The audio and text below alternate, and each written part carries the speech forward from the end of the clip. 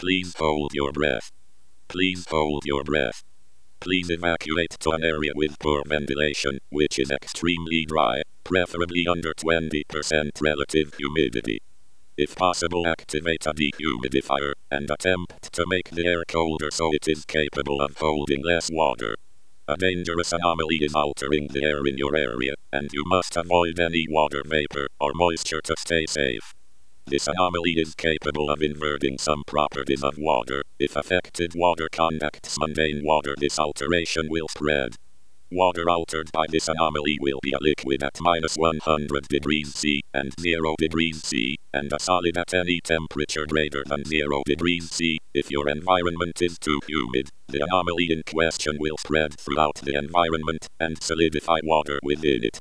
This includes solidifying water within your body.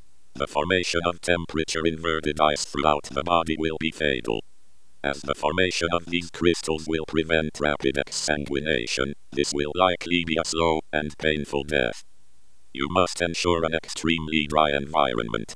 If you must move through a damp environment, hold your breath and move quickly. Efforts are underway to nullify the anomaly in question and ensure the safety of all civilians.